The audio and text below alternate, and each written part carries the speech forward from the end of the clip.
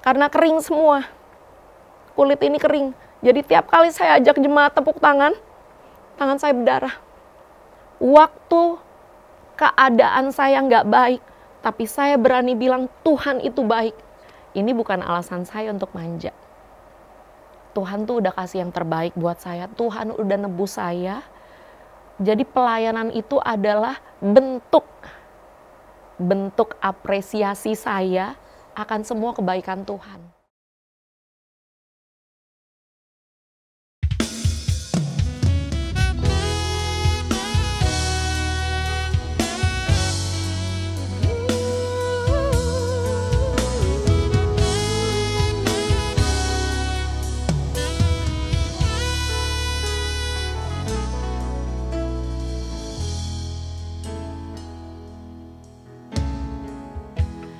Selalu. Tuhan menjawab doa Namun dia beri yang terbaik Di waktu yang tepat. Izinkanlah Tuhan untuk bekerja Yang mustahil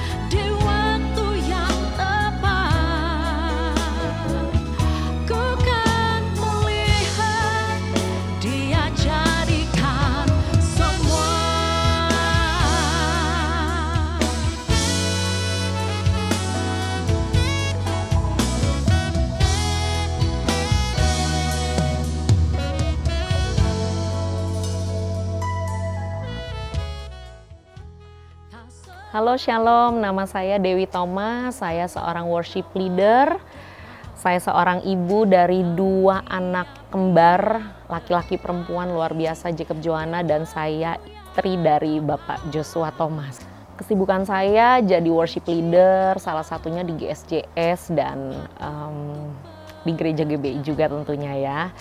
Dan kesibukannya saya eh, bukan hanya arisan tapi kayak bangun komunitas yang positif untuk ibu-ibu di sekitaran Bintaro ya. Jadi ada ya kalau di zaman now tuh dibilang apa? Geng ibu-ibu lah. Tapi puji Tuhan sih eh, saya bergaul dengan ibu-ibu yang non Kristen tapi hanya saya malah.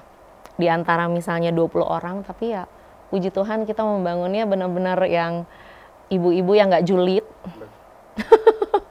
Ibu-ibu yang bisa spread the love nebar kasih saling dukung saling bantu yang pasti. Saya tuh paling seneng kalau ngumpulin donasi. Misalnya ada temen yang sakit ada temen yang eh, apa namanya kekurangan gitu. Kita langsung action take action. Untuk jadi ngumpul bukan untuk julid bukan untuk shopping bukan untuk gosip tapi untuk eh, saling berbagi kasih. Puji Tuhan.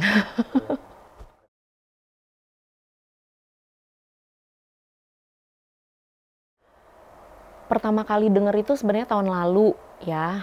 Ada satu WL yang nyanyiin lagu itu tapi lihat ibadah live streaming.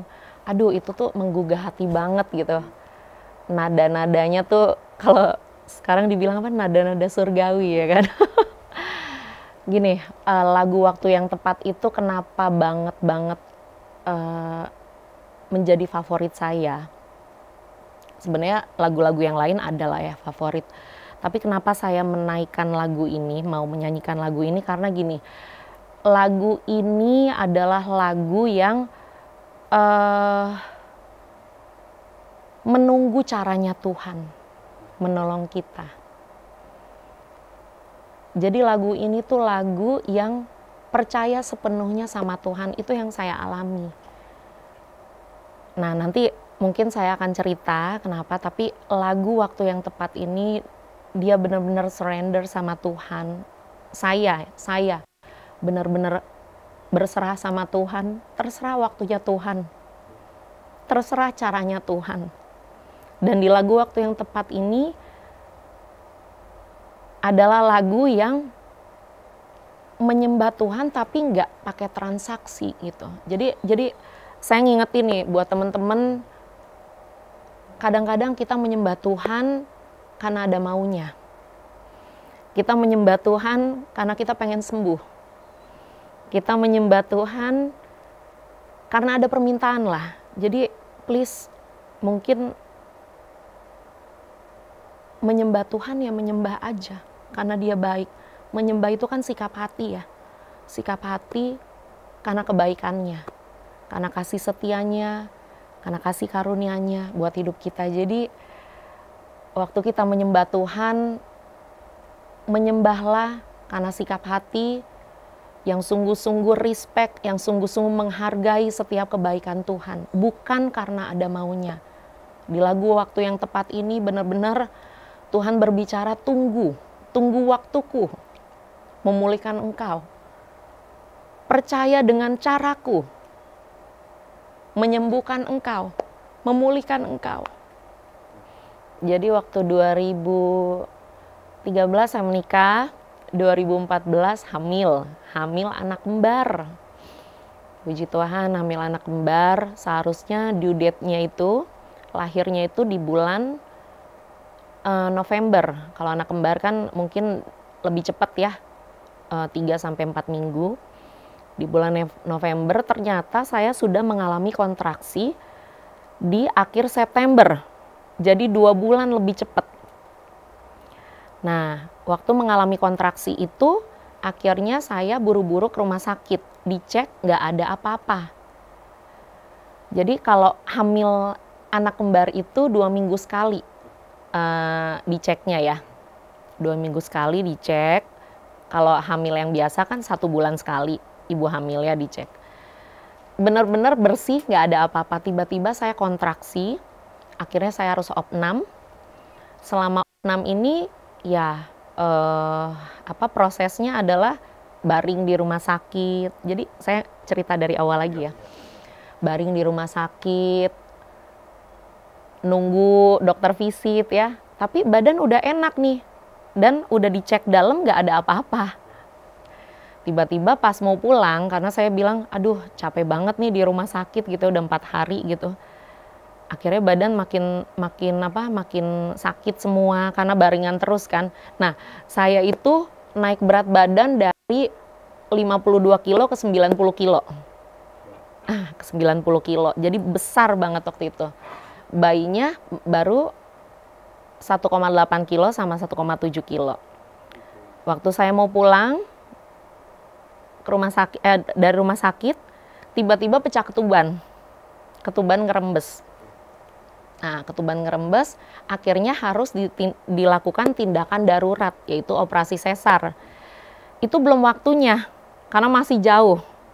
Dua bulan dua bulan lagi gitu tapi sebelumnya dokter udah kasih pematangan paru untuk dua bayi setelah itu operasi sesar uh, dengan segala ketidakmungkinan yang ada karena nggak dipastikan juga anak saya hidup dua-duanya. BTW ya, uh, anak saya itu dicek 4D, dua-duanya laki-laki. Tiba-tiba satu minggu sebelum kontraksi ini berubah menjadi laki-laki perempuan. Akhirnya kita uh, masih bingung nih nama yang perempuan siapa karena udah siapin namanya Josh dan uh, Jacob. Josh dan Jacob. Dedinya namanya Joshua. Terus ternyata jadinya laki-laki perempuan. Waktu lahir laki-laki perempuan, puji Tuhan. Yang laki-laki paru-parunya nggak bisa ngembang, gagal paru-paru. Jadi dia harus langsung masuk NICU. Dokter nggak jamin dia hidup satu kali 24 jam. Yang perempuan, puji Tuhan, pematangan parunya dapat. Akhirnya dia masuk di perinatologi, di ruang inkubator biasa.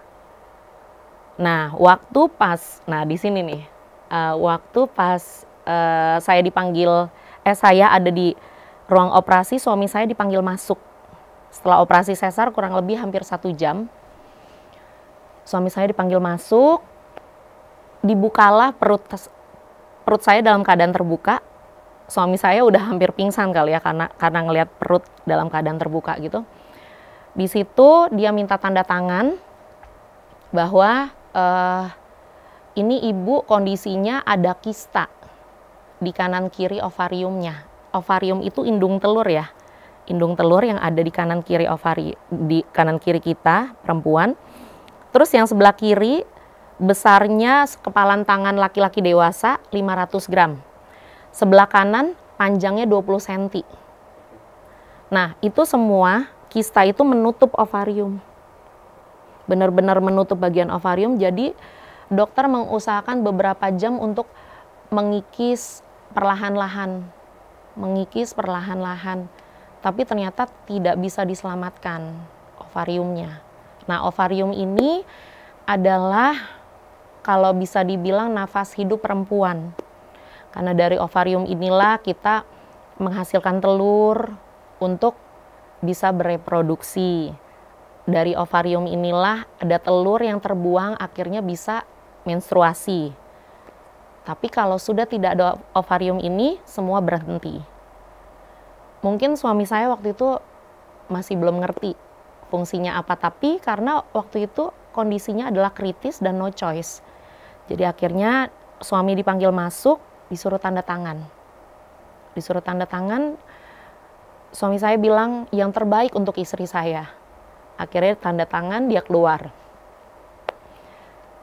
Waktu keluar, eh, waktu sebelum keluar dia bilang, gimana kondisi anak saya?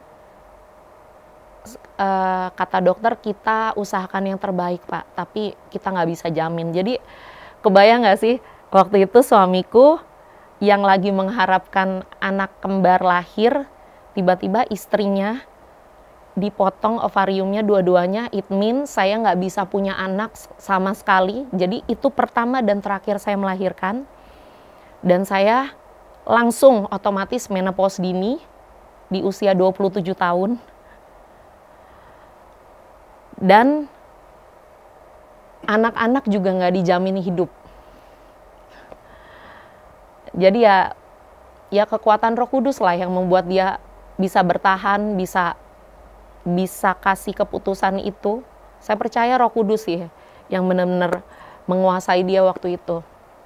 Singkat cerita, setelah itu anak kami berhasil melewati masa kritis satu bulan di NICU tanpa BPJS, tanpa asuransi.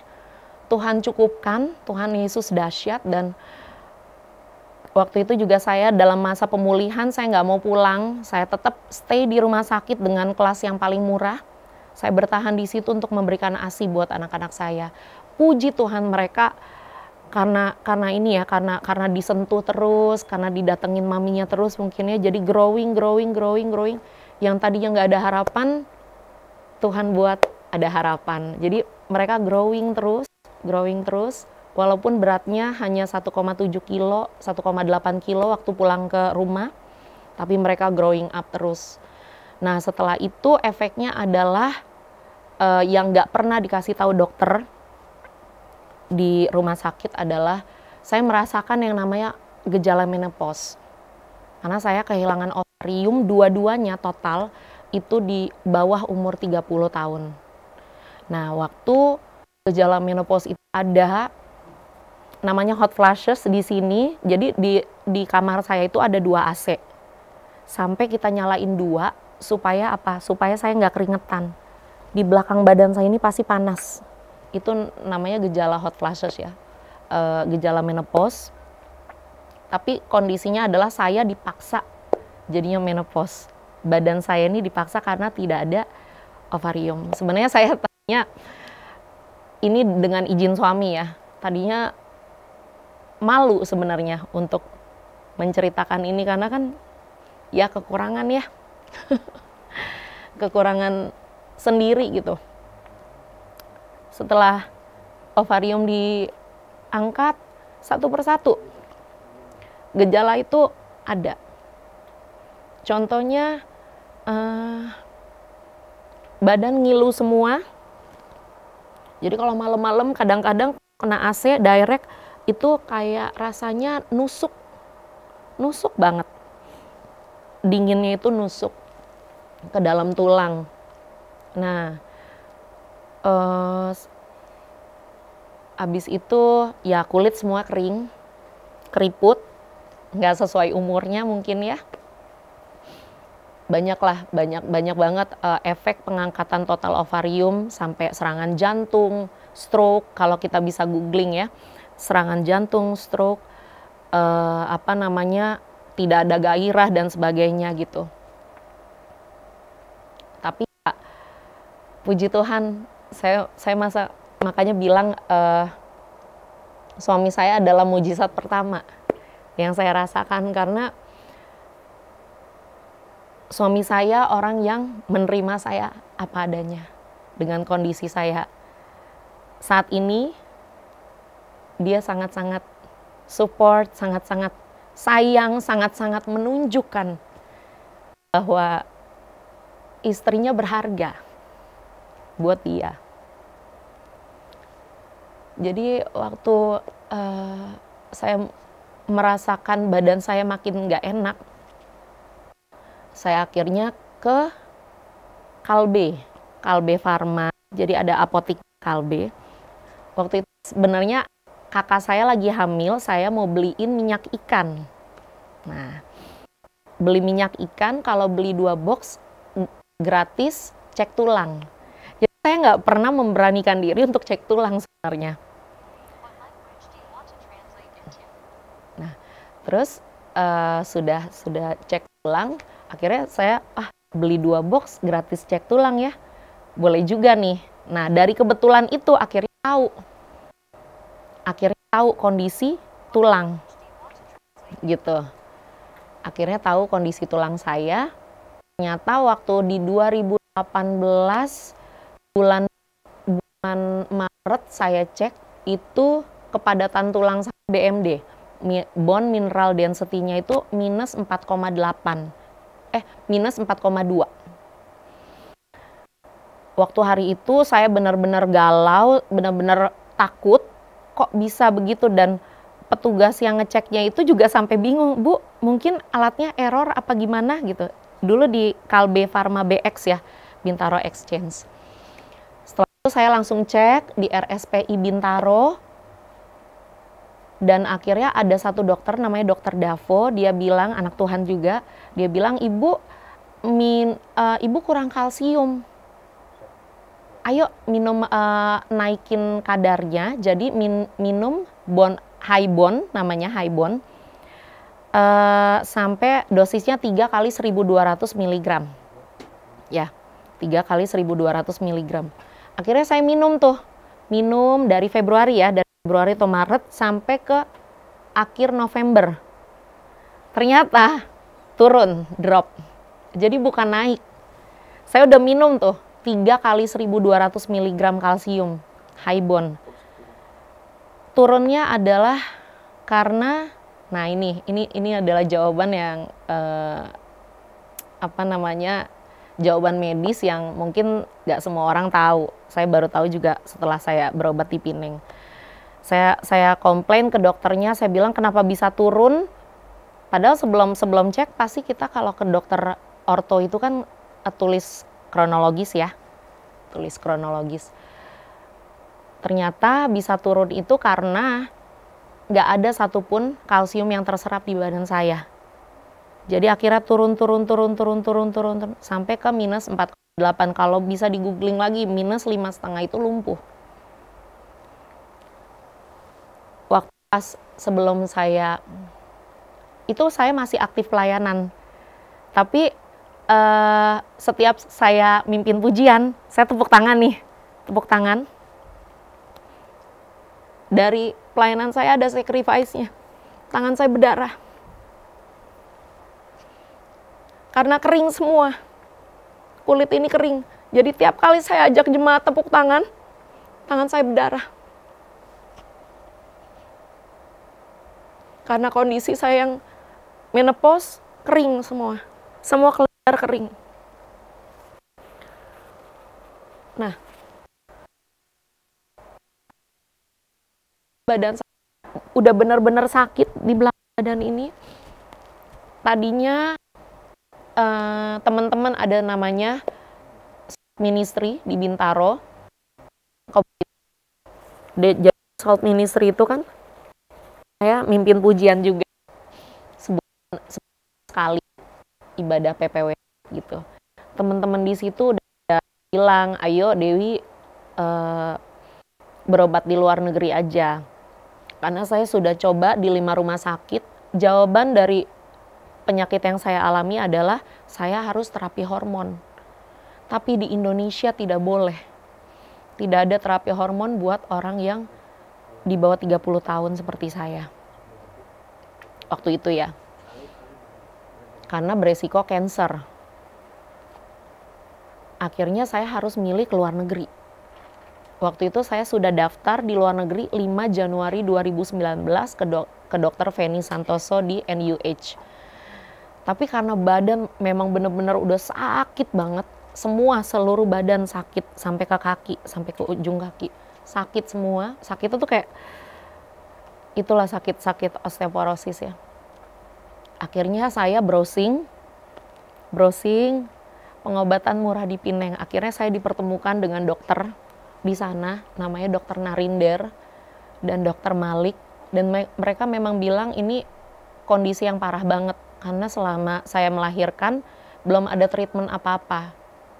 Dokter saya di Sinkarolo Serpong hanya bilang healthy lifestyle aja ibu, dijaga aja, anak jaga, ibunya jaga jaga hidup aja, udah nggak ada yang bisa kita lakukan karena tidak boleh terapi hormon sama sekali. Nah puji Tuhan akhirnya saya ketemulah di Island Hospital dengan dokter Narinder Singh, dengan Profesor Malik bagian endokrin. Mereka optimis bisa bantu saya. Itu karena, nah ini Tuhan tuh dahsyat banget. Jadi tengah malam saya nangis, saya kesakitan badan. Tiba-tiba saya cuma ngucap syukur, saya berdoa, uh, langsung saya iseng browsing dan ketemu orang yang tepat. Ketemu orang yang tepat. Ternyata orang-orang yang yang saya tadinya nggak tahu, nggak ada rekomendasi sama sekali, saya cuma lihat profilnya, mereka adalah best friend. Dua, dua dokter itu dan dua dokter itu saling kontek-kontekan untuk kasus saya, kasus badan saya. Setelah itu dokter dokter Mali kasih komposisi untuk terapi hormon saya dengan ACC dari Opjin, dokter Narinder. Akhirnya saya menjalani uh, terapi hormon pertama di tanggal 3 Desember 2018. Dan untuk pertama kalinya tanggal 31 Desember 2018 di Bali tepatnya. Waktu saya lagi ke Bali, itu pertama kalinya saya haid lagi saya merasakan menstruasi lagi, menstruasi buatan. Mungkin di saat di saat orang lain, ibu-ibu lain, perempuan lain kayak aduh kok dapet sih atau marah gitu atau alasan aduh PMS badan gak enak. Tapi ada orang seperti saya yang malah merindukan itu. Karena waktu pas uh, apa namanya menopause ini semua udah stop. Semua stop. Siklus di badan saya stop. Tapi di 2018, 31 Desember, Tuhan menunjukkan mujizatnya. Akhirnya fungsi dari ovarium itu bisa diaktifkan lagi dengan terapi, terapi hormon. Walaupun tidak senatural wanita normal. Nah, kenapa waktu Februari sampai November itu bisa turun terus uh, kalsium di badan saya. Padahal saya udah minum nih. Ternyata salah satunya adalah fungsi dari ovarium untuk menyerap kalsium. Jadi kalau tidak ada ovarium, tidak ada hormon, tidak ada kalsium yang terserap. Hormon fungsinya untuk menyerap kalsium dari luar. Jadi waktu nggak ada hormon, kalsium itu hanya keluar di air air seni, di pipis. Terbuang, terbuang, terbuang, terbuang. Badan terkikis, terkikis. Jadi banyak banget pelajaran waktu saya saya eh, pertama kali terapi hormon oh oh oh baru tahu gitu jadi mereka benar-benar perpanjangan tangan Tuhan dan saya harus ACC bahwa saya harus tanda diminta tanda tangan bahwa eh, saya harus bersedia terapi hormon sampai usia 50 tahun. Kenapa harus 50 tahun? Karena itu wanita. Jadi saya harus dipastikan harus ikut terapi hormon itu 50 tahun. Kenapa saya harus tanda tangan? Karena seperti yang kita tahu terapi hormon itu eh, sangat beresiko, beresiko tinggi. Hormon yang dimasukin itu kan bisa melambung, ya dari dari tiga atau empat hormon wanita itu bisa salah satu melambung. Makanya di 2019 saya sampai tiga kali, tiga kali harus bolak-balik Pineng untuk di screening, habis itu dikasih dosis baru. Tapi puji Tuhan semua Tuhan ada aja berkata Tuhan, ada aja Tuhan mampukan untuk berobat terus, berobat terus sampai di 2023 ini adalah tahun ke lima, ya tahun kelima saya untuk terus berobat. Padatan tulang. Kepadatan tulangnya berangsur-angsur naik dari yang tadinya saya tingginya 166 turun menjadi 160 per tahun ini. Jadi ruas di belakang ini pasti memendek terus. Tapi puji Tuhan di tahun ini eh, ruas itu tetap dari tahun lalu. Saya Mei 2022 ke Pineng tinggi 160. Tahun ini puji Tuhan masih bertahan di situ, nggak tambah turun.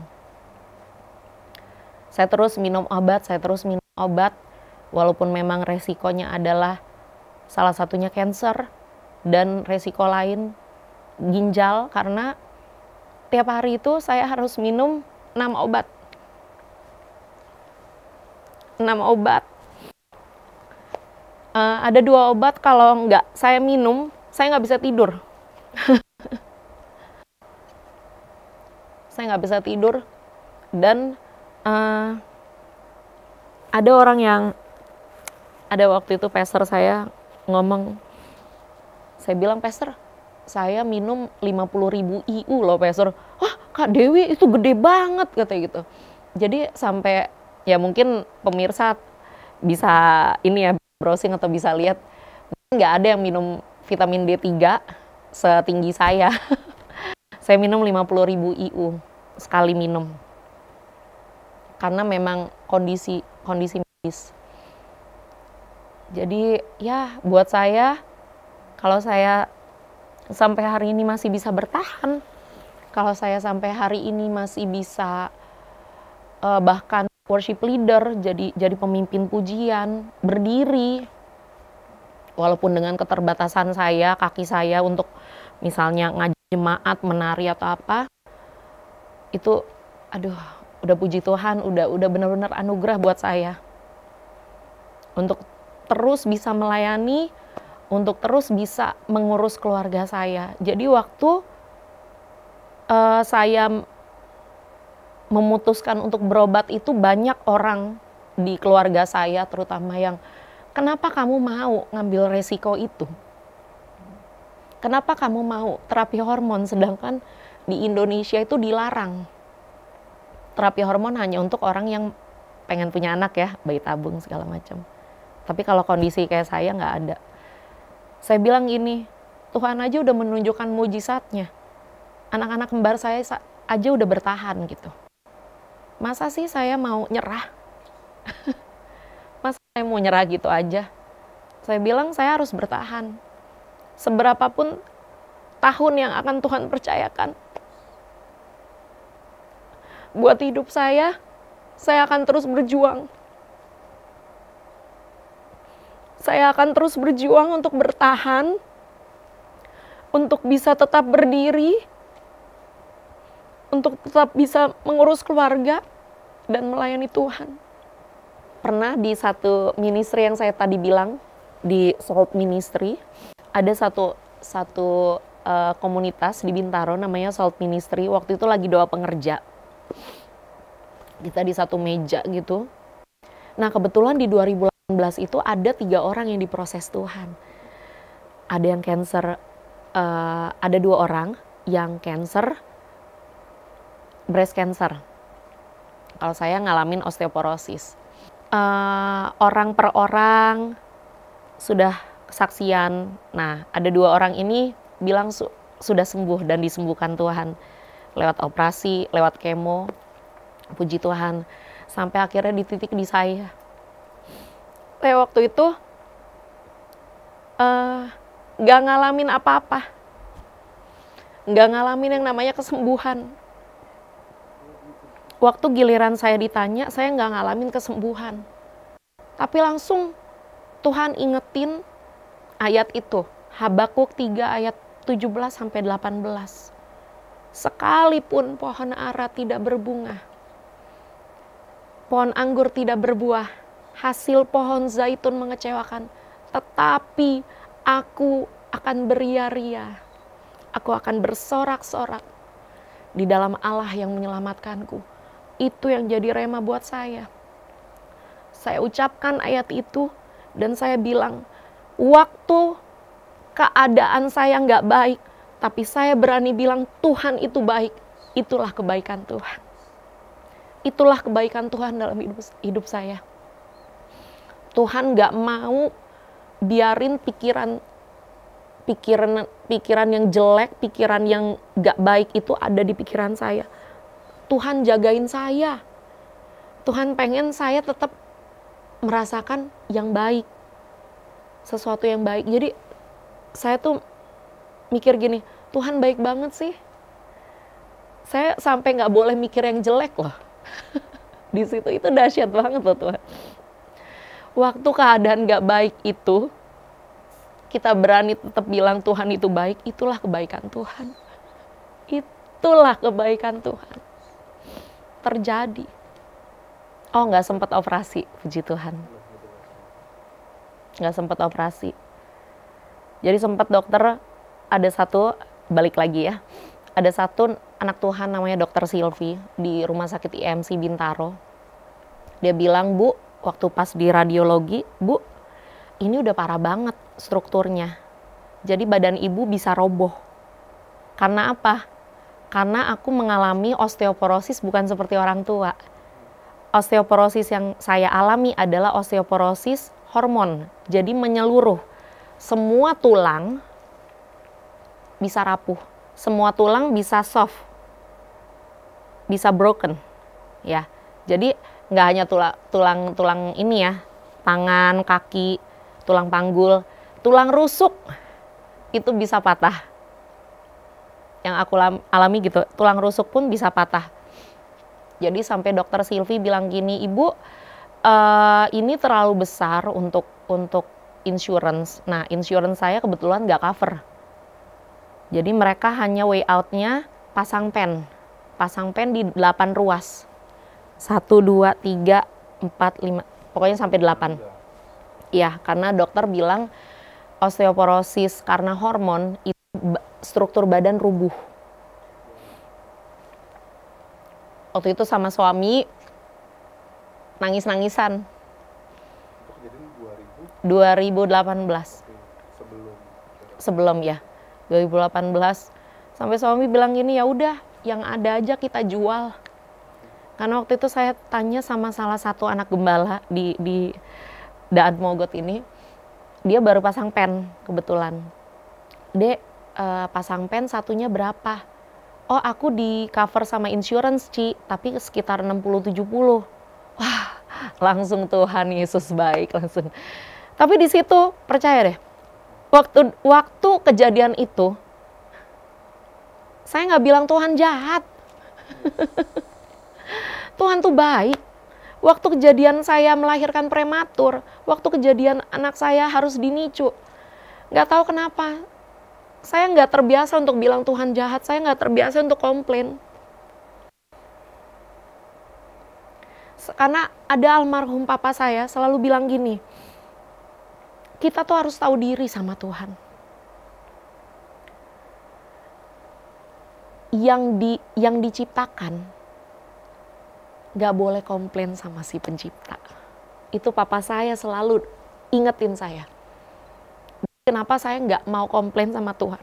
Karena itu udah mendarah daging banget. Dari saya kecil papa saya, papa saya tuh seorang papa yang sayang banget sama anaknya. Walaupun orang Batak agak-agak keras, tapi tapi kalau sama anak perempuan, aduh papa saya luar biasa. Dan tiap hari push kita untuk baca Alkitab.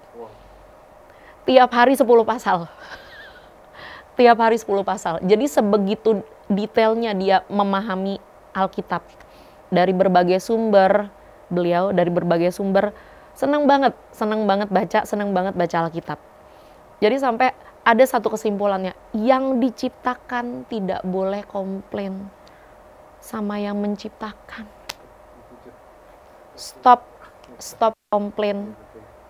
Kita tuh harus tahu diri ya udah ayo selalu bilang Tuhan baik Tuhan baik jangan pernah curiga sama Tuhan. Once kamu curiga sama Tuhan, udah tuh. Masuk tuh pikiran-pikiran jelek tuh. Itu langsung iblis tuh kuasai tuh. Jadi stop komplain, stop curiga sama Tuhan. Ayo belajar ngomong Tuhan Yesus itu baik. Saat keadaan gak baik, Tuhan Yesus tetap baik. Saat ke keadaan udah di ujung, Tuhan Yesus sangat amat baik. Gak gampang. Tapi itu harus dipaksain. Harus. Jadi waktu udah udah selesai itu, uh, saya udah tanya, wah nggak mungkin nih. Sampai kita hitung, saya sama suami hitung. Kebetulan saya kan udah nggak kerja, suami yang kerja sama orang tuanya. Ya udah yang ada aja mami. Suami saya begitu banget. Ya udah yang ada aja mami. Yang penting kamu sembuh yang penting kamu bisa bertahan akhirnya tadi kita tadinya kita berencana untuk jual tanah demi saya bisa pasang pen di delapan ruas itu sampai dokter Silvi bilang bu kebanyakan bu pasang pennya uh, apa namanya nanti saya usahain ya. Baik banget. Saya usahain ya untuk BPJS klaim di rumah sakit Fatmawati ya. Rumah sakit eh, ini apa negeri gitu ya. Rumah sakit Fatmawati tapi mungkin dua tiga kali tindakan untuk operasi pasang pennya. Tapi sebelum itu terjadi Tuhan jawab. Dan itu nggak ada. Mungkin di 70 juta nggak ada sepertiganya nggak ada tempatnya untuk dipindah itu Tuhan baik banget Tuhan kasih kasih kasih akses untuk menuju rencananya. Waktu kita percayakan diri, ya, kita buka hati, kita percaya sama Tuhan. Tuhan tuh tuntun kita kok, tuntun kita pada pertolongannya, dituntun. Waktu yang tepat. Benar-benar merema. Karena saya tahu bahwa waktu di lagu waktu yang tepat itu Tuhan itu yang paling tahu. Tuhan itu yang paling tahu segala sesuatu yang terbaik buat hidup kita. Mungkin banyak orang dengan kapasitasnya masing-masing dalam keadaan ini udah ngeluh, dalam keadaan ini ngeluh. Tapi mungkin ada orang-orang yang terdekat dengan saya bilang, kok kamu masih bisa sih dalam keadaan kayak gitu? melayani Tuhan, masih bisa WL empat kali, masih bisa ini itu. Saya bilang, ini bukan alasan saya untuk manja. no, ini bukan alasan saya untuk manja. Tuhan tuh udah kasih yang terbaik buat saya. Tuhan udah nebus saya. Jadi pelayanan itu adalah bentuk bentuk apresiasi saya akan semua kebaikan Tuhan. Seperti yang tadi saya udah bilang kan, orang Kristen banyak. Orang yang dikasih talenta sama Tuhan itu sedikit. Orang yang mau melayani itu sedikit. Tapi lebih sedikit lagi orang yang dikasih kesempatan untuk melayani. Jadi kalau dikasih kesempatan melayani, lakukan. Lakukan dengan segenap hatimu, dengan segenap kekuatanmu.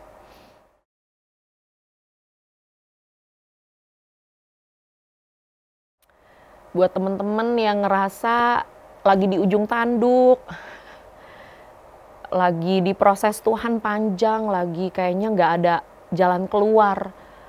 Beneran deh, kita harus atur mindset kita untuk melihat yang gak baik itu jadi baik. Ayo, eh, paksakan mulutmu untuk ngomong sesuatu yang baik. Paksakan pikiranmu dan mulutmu untuk ngomong Tuhan itu baik, Tuhan itu baik. Dan itu terjadi waktu kamu ucapkan itu kedengeran sama kupingmu dan itu jadi iman. Ayo teman-teman yang nggak- lagi ngalamin proses, banyak baca firman. Saya cuma bisa bilang itu, banyak baca firman, banyak mendekat sama hadirat Tuhan, banyak masuk hadirat Tuhan. Ada kok kekuatan, ada kok jalan keluar. Buktinya apa? Kalau misalnya Tuhan itu selalu bekerja, buktinya apa? Kamu masih ada sampai hari ini. Itu udah bukti. Kamu masih ada, kamu masih bertahan, itu bukti. Jangan pernah ragukan Tuhan, jangan pernah bilang Tuhan itu jahat, jangan pernah curiga sama Tuhan. Semuanya tuh pasti baik. Semuanya pasti ada jalan keluar. Semuanya pasti ditolong Tuhan. Mungkin banyak orang ya eh, bilang saya WL yang mellow, yang selalu nangis. Tapi itulah, itulah ekspresi saya. Saya nggak tahan kalau dengar kebaikan Tuhan. Padahal kalau di- boleh dibilang saudara, saya tuh belum sembuh loh. Bukan, saya tuh mungkin mengalami mujizat yang gak lazim. Sampai sebegitu percayanya saya sama Tuhan. Saya bukan orang yang sakit jadi sembuh. Itu mujizat ya. Orang sering bilang gitu ya, mujizat kalau sakit sembuh. Saya menyaksikan ini saya belum sembuh. Tapi saya percaya saya bisa bertahan aja itu kebaikan Tuhan. Saya bisa bertahan aja itu mujizat Tuhan. Percaya. Jadi waktu saya bertahan ini, saya cuma bisa bilang, saya bertahan karena Tuhan. Saya bertahan karena mujizat Tuhan. Dari tahun lalu sampai tahun ini, tinggi badan saya bertahan 160, itu semua karena Tuhan. Saya bilang Tuhan baik. Sekalipun nanti di prosesnya, Tuhan izinkan.